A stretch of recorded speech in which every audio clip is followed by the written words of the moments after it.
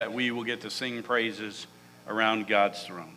I'm grateful for our praise team and Rama and others that just allow us to be a part of that heritage with music and uh, take us to the throne of God in heart and in mind. I'm going to encourage you, if you would, to open your Bibles to Matthew chapter 5. We've been studying through a sermon series called The Heart of the Matter, and uh, it deals with really what's on the inside of us, both cognitively as well as uh, mind and emotion. And I trust that uh, as we look at God's Word today, that uh, His Holy Spirit will impact us with the truth of the words of Christ. In previous verses, we've seen where murder was mentioned and how murder was wrong. But the issue was still one of a heart issue of anger, even if you hadn't murdered anyone. And the solution is always forgiveness and reconciliation, which is what God offers to mankind by Christ's death on the cross. And so now we're going to see the emphasis of Christ turn to another wrong, another harm against another human being in regards to the specifics of adultery. But we will see how, as Jesus was speaking to the audience to whom he was speaking, that that would have also been easily understood as a heart issue not just an action. So, Matthew chapter 5, verses 27 through 30. If you want to use one of the Bibles in the chair pocket there in front of you, it's on page 963. And I'll be reading those verses together if you'll follow along in your copy of God's Word. Matthew chapter 5, beginning in verse 27. You have heard that it was said, You shall not commit adultery. But I say to you that everyone who looks at a woman with lustful intent, has already committed adultery with her in his heart. If your right eye causes you to sin, tear it out and throw it away. For it is better that you lose one of your members than that your whole body be thrown into hell. And if your right hand causes you to sin, cut it off and throw it away. For it is better that you lose one of your members than that your whole body go into hell. Let's pray. Father, we thank you for your truth. We thank you that through your word, we can be exposed to truth. And God, I pray that today our hearts would be exposed before you and that the Holy Spirit would take that truth and minister to each heart and each mind that's here this morning. And we'll be careful to give you the praise and the glory and the honor. For it's in the name of Jesus Christ that I pray. Amen. So once again, Jesus hits the root. Yes, he mentions a specific action which any right thinking person would agree, yeah, that's a terrible action to commit adultery. But the issue is a hard issue, just like it was with murder. Yes, that's a terrible action, but the hard issue begins with anger. So, too, the resulting action is always going to begin as an issue of the heart. Thus, the heart of the matter. And so I trust today we will see beyond just the surface words that Christ is speaking and allow the Holy Spirit to take God's truth and apply it to our heart. I don't know why it is that humans think we can hide our true heart. It goes something like this when you're interacting with someone and some words slip out, and you say, Oh, I didn't mean to say that. You're exactly right. You didn't mean to say it but it was in your heart. Jesus made that clear. What's in your heart is going to eventually come out of your mouth. But somehow we think if we can just hide our hearts, that just by external actions, people will think we're okay. When in fact, Jesus said just the opposite, especially when it comes to worship. In Matthew's gospel, and all of these scripture references are listed there in your bulletin if you don't have the chance to write them all down, but they're all listed there for you to look up at a later time. But in Matthew chapter 15, Jesus was speaking to the religious leaders, or about the religious leaders, when he said, You hypocrites, well did Isaiah prophesy of you when he said, This people honors me with their lips, but their heart is far from me. In vain do they worship me. Did you catch that? Their lips were singing the songs. Their lips were speaking the proper words, but in vain in vanity, they thought they were worshiping Jesus Christ. And it's important that we understand that's how we can, even still today, try and hide our hearts. If I go through the right motions, if I say the right words, if I do the right things, then others are going to think I'm all good with God. When in fact, really what Jesus is making clear is all those externals don't mean a whole lot. In fact, he said, Your worship of me is vain if your heart's not in the right place. If you can read English, you can sing the words of the song that are on the screen. Don't be fooled. That doesn't mean you're truly worshiping, it's where your heart is. And so people try to hide their hearts, and Jesus called out those religious of his day to help them to see that it's what's on the inside that makes the words or the external actions valuable. Otherwise, it's just that it's only external actions. The prophet Jeremiah talked about the heart in regards to the people of God to whom he was prophesying in the Old Testament. And in Jeremiah 17 9, the prophet speaking on behalf of God says this The heart is deceitful above all things. Let me paraphrase that for you. You're better at fooling yourself than anyone else is. You can make yourself believe anything. You can convince yourself of anything. Do I need to give specific examples? Because the heart is deceitful above all else. And the prophet goes on, speaking on behalf of God, and says, is desperately sick. Who can understand it? Who can understand it? See, we've all probably been caught in one of those situations where we made ourselves believe something or said it enough to ourselves or tried to convince ourselves that when the reality of it came to pass, we thought, oh my goodness. Someone said to me this morning, Pastor John, are you losing weight? I said, no, I'm just buying bigger clothes. Because here's what happens I can tell myself and I can see myself in the mirror, but the truth hits when I step on the scale, doesn't it? That's because in my heart I somehow want to convince myself or trick myself into thinking, hey, I'm not doing that bad. Okay? That's why I don't wear solid red. You know, I'd look like that stop sign, you know, if I ever did. See, the heart is deceitfully wicked, though, and as, as funny as that illustration may be, unfortunately, we do that on a regular basis in our lives. And we fool ourselves. What Jesus is doing all through the Sermon on the Mount, especially as we're looking at these passages in Matthew 5, is he's revealing our hearts. Yes, murder's wrong. Yes, adultery's wrong. Everyone would agree with that. The problem is, most everyone would say, I haven't murdered anyone and I haven't committed adultery, so I'm okay. And what Jesus is saying, no, where's your heart? Is your heart angry at someone else? Is your heart lustful towards someone else? That's the issue because the actions stem from there. The fruit comes from the root.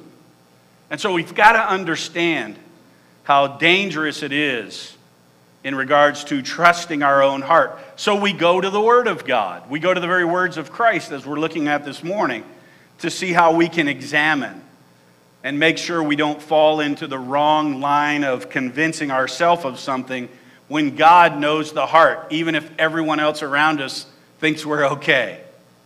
We may not be okay because we, like many in Jesus' day, have become good at hiding our heart. See, the unchanged heart will always suffer the consequences eventually. And in our current culture, it seems pretty obvious to me that nowadays people aren't even trying to hide what's in their heart.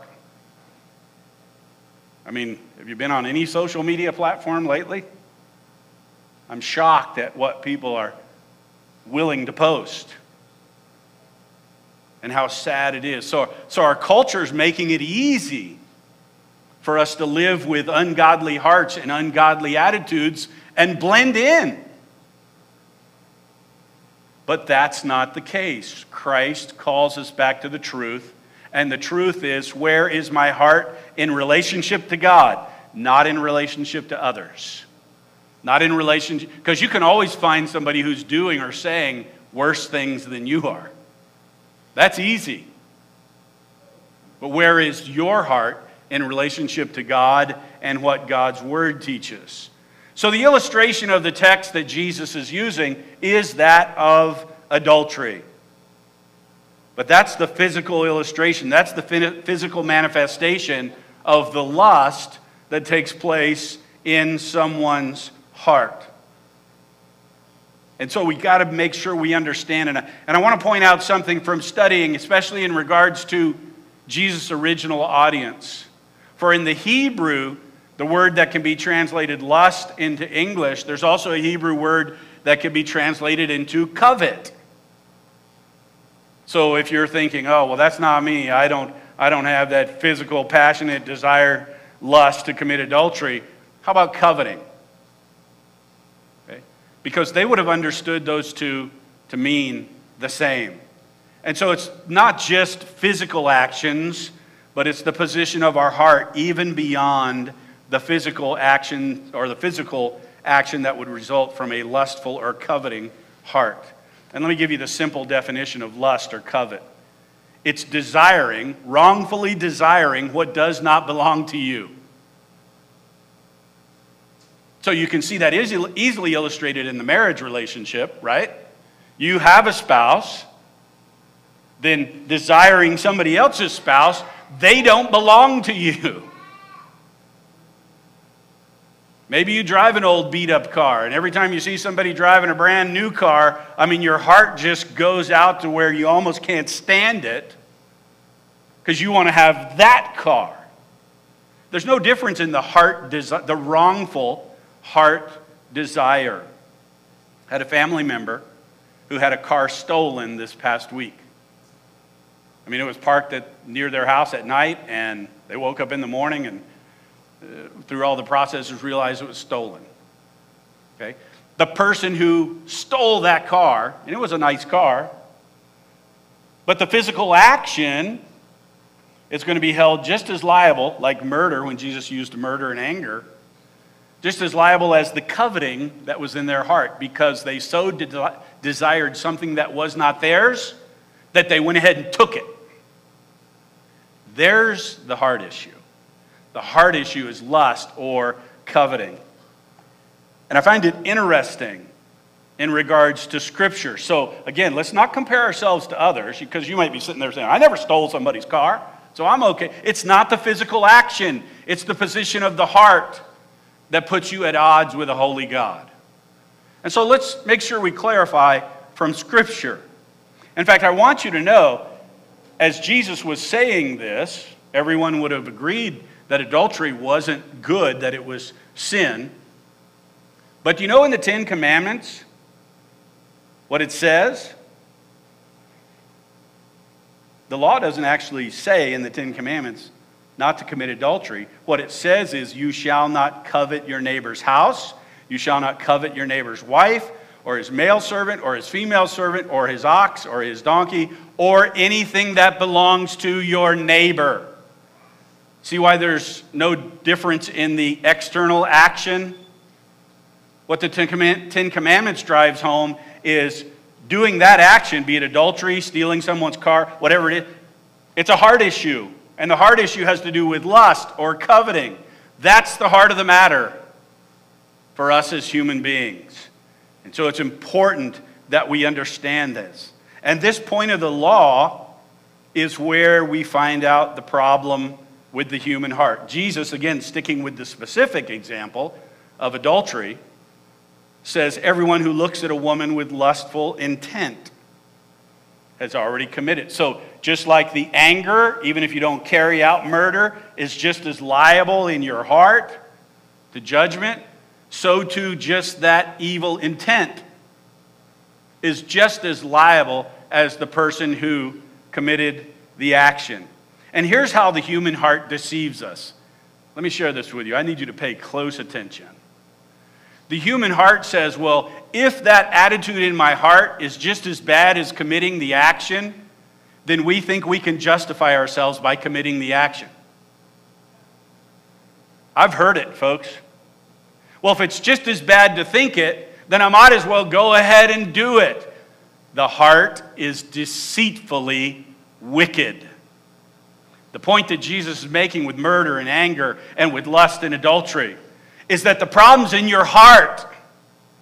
Yes, the physical action is bad, but where is your heart? Because if your heart's not headed there, you're not going to do that. But see, our heart, which deceives us, tries to somehow justify the action. Do you understand how crazy that is? It's crazy to think that way. But I'm concerned and I fear that too many human beings do. In the original language, again, the idea is this great desire or this focused passion with an intent to act. And I want to make certain we understand that the heart is the issue. In James chapter 1, beginning in verse 13, writing to the early church, James writes this Let no one say when he is tempted, I am being tempted by God. For God cannot be tempted with evil, and he himself tempts no one. Did you catch that? God cannot be tempted with evil, will not tempt you. And then verse 14 says, But each person is tempted. Haven't committed the act yet. You're following the thought process here? Each person is tempted when he is lured and enticed by his, and the English Standard Version says, by his own desire. In the original language, guess what that word also translates to in English? Lust. So in the biblical languages, for some reason, the translators, I don't know why, same, same word, same meaning. I mean, that's what James is explaining. Look, the problem is in your heart. it's your heart where your mind takes over and leads you in a path and down a direction that is ungodly. That's where the issue is. And yes, in this particular instance, as Jesus is using adultery, James goes on to verse 15. Then desire, or that lust, conceives and gives birth to sin and sin, when it is fully grown, brings forth death. You see why the importance of Christ in the Sermon on the Mount is where your heart is. Where your heart is. That's where that, that emotion or that passion or that desire or that thought process is going to lead you down the path of death, literally. And so the one who looks with that, in, that intent or that purpose in his heart is what we have to check. We have to check our heart. Jesus said that such a person's heart is wrong. It's sin. It's ungodly. Jesus says that such a person's heart has sinful desire because sin begins in the heart. Again, in Matthew chapter 15, verses 18 through 20, Jesus said these words What comes out of the mouth proceeds from the heart, and this defiles a person. So, what's he saying? He's saying, Those words that you spoke, those were what's wrong. But where did those words come from? What was already in your heart. Again, bringing it back to a heart issue. Where is my heart? For out of the heart, Jesus isn't done yet. For out of the heart come evil thoughts, murder, adultery, sexual immorality, theft, false witness, slander. These are those are the sinful actions, but all those sinful actions, as Jesus made clear, come out of the heart. So we must understand the heart of the matter in this regard. And so as we continue on, we see that the human heart is the issue, as we mentioned in James, because it's enticed and carried away by its own desire. And it's that sinful desire in the heart that, when is allowed to come to fruition, goes down that path of death. So we must take seriously this position of our heart. And Jesus is presenting this idea of eliminating anything that would put those thoughts and those desires in your heart. So, how does that happen? Well, he explains it by what a lot of people would just use as, oh, Jesus was just using a crazy example to tell you how you should deal with sin. I'm going to tell you, I think Jesus was as serious as he could be because the heart is where we must focus. So when Jesus said to pluck out your eye or to cut off your hand,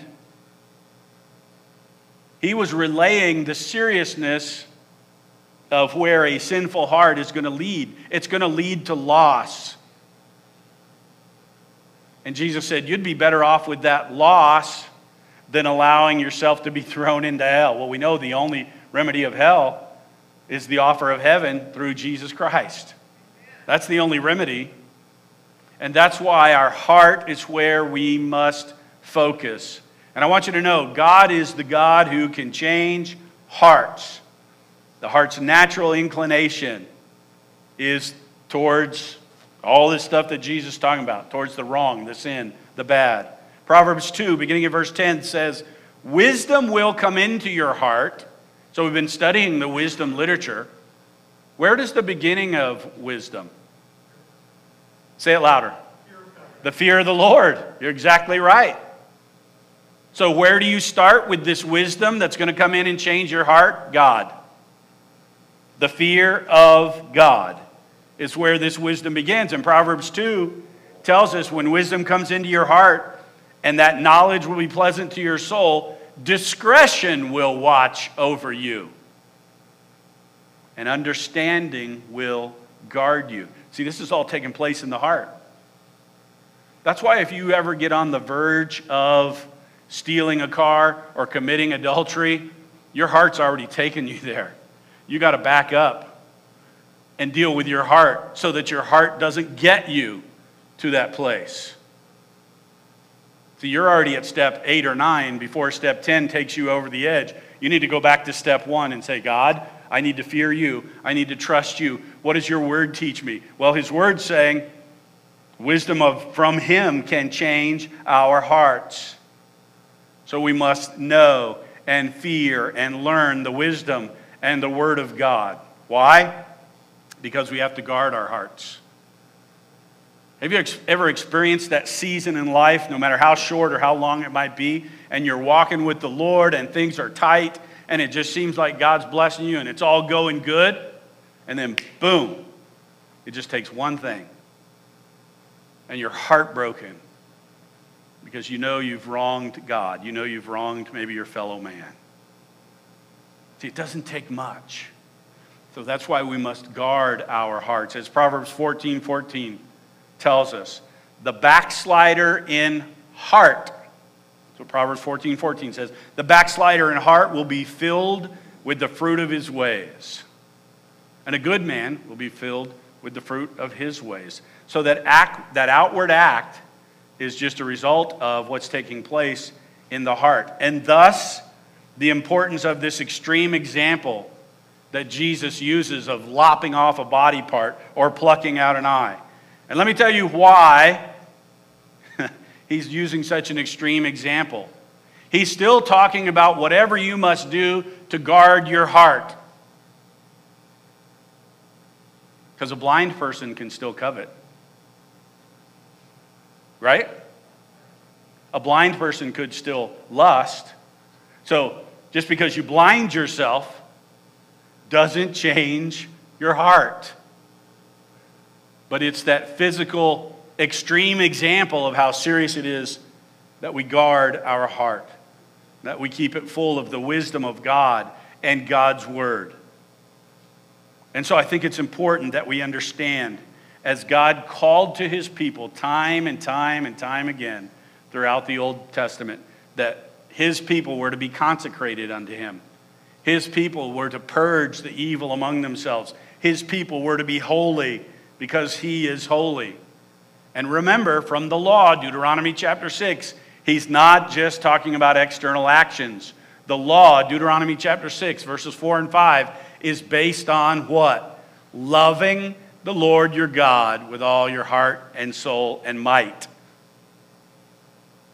That's the basis of it. And so here we see the teaching of Christ about being holy because it's our heart that has to be changed and it's our heart that must be made new. And that's what Jesus Christ was emphasizing in not only the greater context, but here specifically. And in Jeremiah chapter 31, again, God speaking through the prophet Jeremiah says, Behold, the days are coming, declares the Lord, when I will make a new covenant with the house of Israel and the house of Judah, not like the covenant I made with their fathers on the day when I took them by the hand to bring them out of the land of Egypt, my covenant that they broke, though I was their husband, declares the Lord. Isn't that an interesting analogy that Jesus would use adultery as a specific example of a heart that wanders away from God? Through the prophet Jeremiah, that's the illustration God's using. Look, I called you, Israel, to be my people. I was your husband. And what did they keep doing? They kept committing adultery against God. That's an important aspect that we understand because those who were hearing Jesus speak these original words would have very well known that aspect of that history of Israelites if he's speaking to a predominantly Jewish audience in his day. But the prophet Jeremiah goes on to say in verse 33 of chapter 31 This is the covenant I will make with the house of Israel after those days, declares the Lord. I will put my law within them what was the problem of the people of Jesus' day? They only saw the law as external actions. God, centuries before, was saying, look, the law is not based on external actions, the law is based on love. And based on that truth, as the prophet Jeremiah says, I will put my law within them. And he's speaking of a future day, which was what Christ fulfilled, and I will write it on their hearts. See, God doesn't want the law to be lived as just a list of do's and don'ts. God wants a love relationship, loving Him first and everyone else. And Jeremiah finishes by saying, I will be their God and they shall be my people. That's the definition of the people of God. When God has occupied your heart. In fact, what was the comparison of so many of the Old Testament prophets? Even the book of Isaiah Remember what, uh, excuse me, Hosea. Remember what the book of Hosea was all about?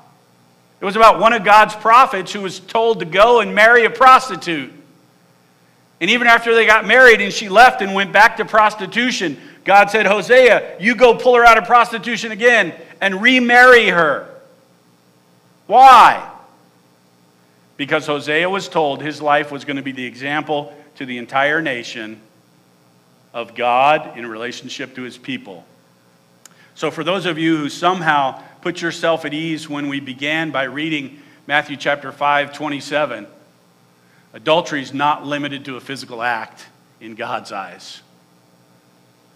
Every time you've turned your back on him and chased after the world, you've committed adultery spiritually. You've turned your back on God, who says, I'll be your husband, I'll be your caretaker. I'll give you my law and my spirit and a new covenant in your heart. That's incredible to me. As I look around this room and I wonder how many of us men, if our wives were to turn on us as often as Hosea's wife did on him, how many of us would just, eh, let her go? Maybe not the first time. How about the fourth or fifth time? Now, in regards to spiritual adultery, do you want to try and count the times you've turned away from God and sought after the world? That's God's grace. That He would continue to take you back as His own. Isn't it interesting that in the New Testament, the Apostle Paul in Ephesians chapter 5 gives the comparison of Christ and His church as a what? A husband and a wife. That's how serious God sees it when our hearts turn away from Him. And so, how important it is that just as this new covenant was foretold by the prophet Jeremiah, it was finalized in Christ. Hebrews chapter 9, verse 15 says, Therefore, he, talking about Jesus Christ, therefore, Jesus Christ is the mediator of a new covenant. What was the new covenant that, I, that Jeremiah foretold? It would be a heart thing. His spirit and his law would be put on our hearts. So, therefore, Jesus Christ is the mediator of a new covenant so that those who are called may receive the promised eternal inheritance. And since a death has occurred that redeems them from the transgressions committed under the first covenant. You know, every covenant has to be settled by, literally by death, according to the Old Testament law. Well, that's why Jesus Christ died on the cross. It was his death that instituted this new covenant. It was his death that for finalized what the prophet Jeremiah foretold. And how is that fulfilled in our lives? Remember, it's a heart issue. God says, I'll put my law and my spirit in their hearts. And Jesus made all of that accessible by his death on the cross as the mediator of this new covenant according to Hebrews 9:15. And so in Christ's fulfillment of the law, we see a loving God and loving others change in our heart as the apostle Paul summed up in Romans chapter 13 verse 9. You heard it read earlier, but I'll read it again. For the commandments. And this is how it plays out in our life. This is how we see it. As God has changed our hearts in Christ, for the commandments, Romans 13, 9, for the commandments you shall not commit adultery, you shall not murder, you shall not steal, you shall not covet. And any other commandment, catch that? Any other commandment are summed up in this word you shall love your neighbor as yourself. How is that fulfilled? You'll only love your neighbor as yourself when you love God first and foremost. And then when you love your neighbor as yourself, you're not going to covet their stuff. You're not going to get angry enough to kill them. You're not, uh, like he said, all that's summed up in the commandments. That's how a change of heart is made evident in God's people. And so I'd ask you today to consider where's your heart in relationship to God and in relationship to others. I want to close with this scripture passage from, again, from the prophet Jeremiah. I will give them a heart to know that I am the Lord. He's foretelling what God's going to do. And they shall be my people, and they and I will be their God, for they shall return to me with their whole heart. That's the heart of the matter. That's the issue. A heart that is fully and wholly devoted to God. Would you bow your head and close your eyes?